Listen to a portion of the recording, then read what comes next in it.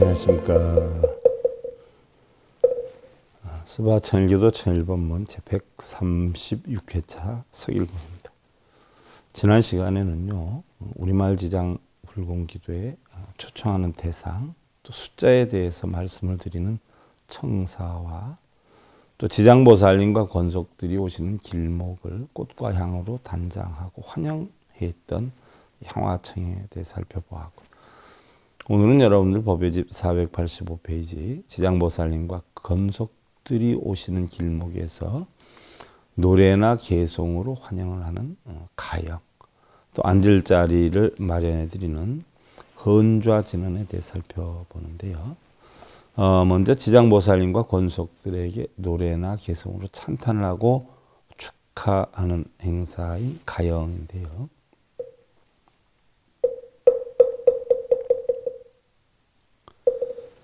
정상명주 힐과환 자연수색 별내단 기외 제기 진분부 함실라손 향외간 과 일심규명 정내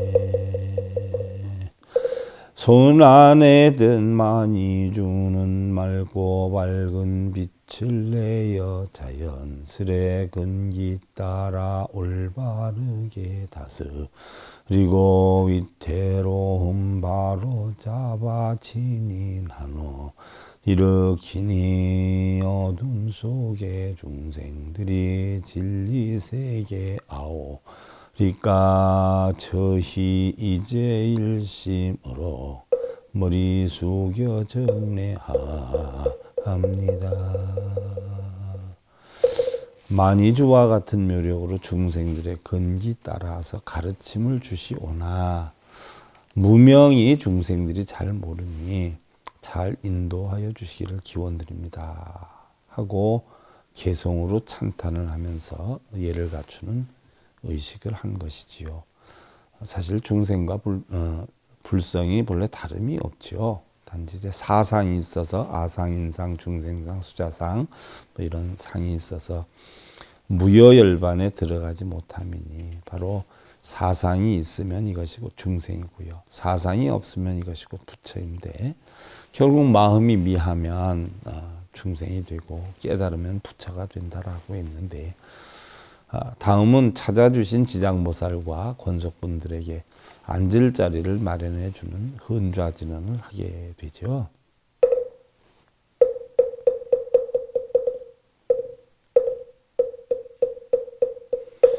헌좌진언 묘보리 좌 승장엄 지불좌 이 성정가 아금은좌 여겨 시자터 일시승불도 옴버러 민나야 서버. 훌륭하게 장엄되는 미묘한 이보리자 앉아 계신 모든 부처 깨달음을 이루었고 저희 이제 앉을 자리들이 오며 부처같이 나와 남이 모두 함께 깨달음을 이루리다 반드시 금강같이 견고하게 깨달음을 성취하겠나이다.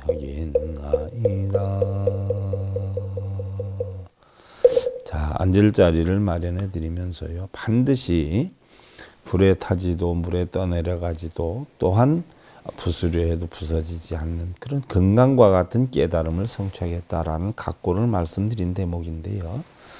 해능 스님의 제자 남양의 해충국사가 어, 해능의 인중 후에 백예산에서 약 40여 년을 지냈죠.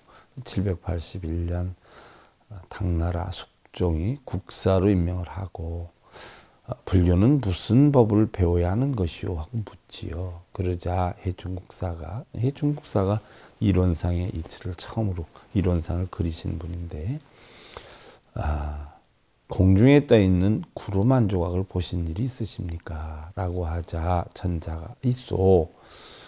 그랬더니 해충국사가 그럼 거기에다 못을 박아 가십시오 하고 대답을 했어요.